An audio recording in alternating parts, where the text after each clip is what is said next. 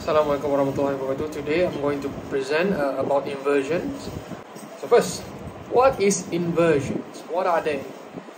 Well, inversion is to invent something. It's from the verb to invert.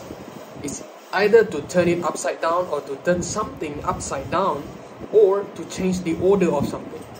So in the context of English grammar, it is all about changing the order of words. So what it what basically is is about a, a, reversal of normal word order, especially the placement of a verb ahead of subject instead of the normal subject before the verb. So here's a famous line from uh, Lord of the Ring from J.R. Tolkien. In a hole in the ground there lived a hobbit. So that's one example of uh, inversion lah. Okay. So uh, next what is the significance of inversions in grammar? So, as an English speaker, we don't have to use inversions as, at all in our daily life, and it's perfectly perfectly fine. First of all, my name is Mohammed Taufiq Manusri. So, now what is the significance of inversion? So, as an English speaker, we don't have to use inversion at all in our daily life, and it's perfectly fine but not if you are going to take an advanced English test like IELTS or MUET exam, where you need to show an extensive use of English, you will be expected to know about inversion. Ah. So inversion is often used to emphasize something, basically something like an expression such as never, rarely, no sooner, and only then. So this will make sentence to have more impact when used at the beginning of the sentence. Ah. Okay, so in essence, uh, inversion is a special structure which uh, the auxiliary verb comes before the subject. In other words, we use the interrogative form of the verb in an affirmative sentence. This structure is used to put emphasis on what is said and is considered more formal. So, uh, these are the few uh, types of inversion. First, negative word or phrases plus auxiliary verb plus subject and plus main verb will form uh, interrogative form lah. and then the second one is so such plus inversion. The other one is conditional plus inversion. The other one is so neither no plus inversion. And uh, the last one is uh, inversion that comes after only or not until. Okay. So the next one. We are going to go through the first one which is a negative word or phrase plus inversion. So uh, we will see words like uh, never, rarely, scarcely, hardly, ever, seldom, not often, hardly, when, no sooner than, little, at no time, not once, not, plus an object, on no account, on no condition, under no circumstances, in no case.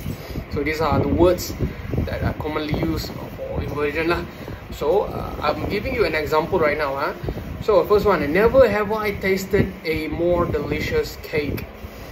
Another one is hardly had I got into the house when the phone rang. No sooner had she opened the door than she heard a loud noise coming from the kitchen. Not often will you find such bargains. Little did she know that they were gossiping behind her back.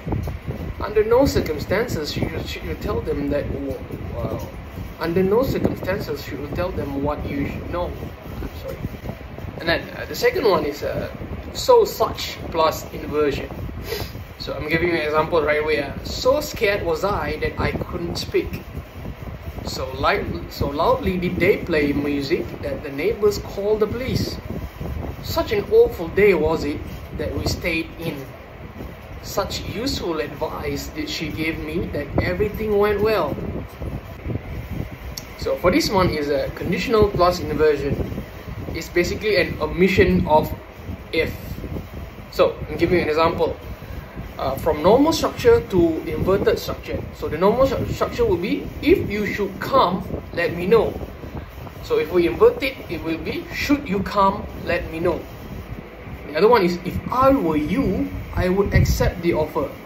So we invert, it will become were I you, I would accept the offer.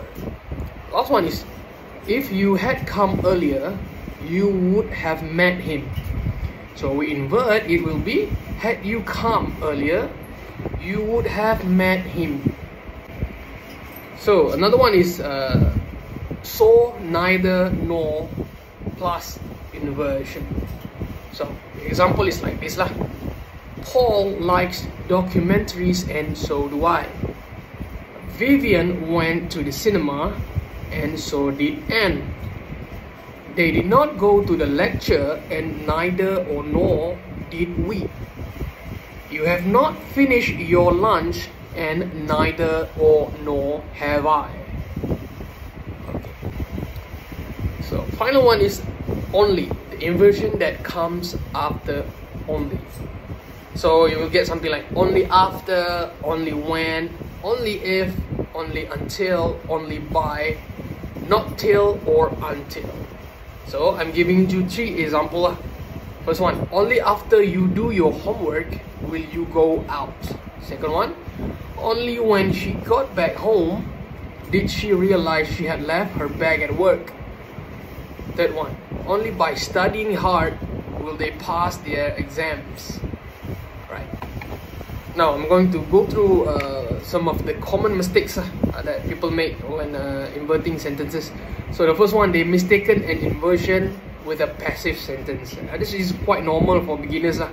The other one is they try to invert the sentence, but the subject is still before the verb. Uh, that's wrong. And the third one is the wrong use of word and tenses. They change it up basically. They change the sentence not according to the original sentence. They change it uh, the wrong way lah. And then the verb also being changed. Should, they should maintain uh, the verb and the tenses. Uh, just they just have to invert the sentence lah. So now I'm going to give you some example of the mistake lah. Not once she asked me if I wanted to put my feet up. So the right answer would be not once did she ask me if I wanted to put my feet up. Uh, this is the mistake based on the tenses lah. Uh, they should put past tense there. Second one is rarely I have seen such an aggressive virus in a patient. So basically it's wrong. So the right one is rarely have I seen such an aggressive virus in a patient. So this is uh, the wrong uh, placement. The other one is uh, no way I would go on a space mission. The correct one would be no way would I go on a space mission. The other one is only I realized the computer had crashed did I start to think about all the work I have lost. The correct one would be only when I realized the computer had crashed did I start to think about all the work I lost. Another example, not only have we finished this project once and for all, but we also have a week's holiday.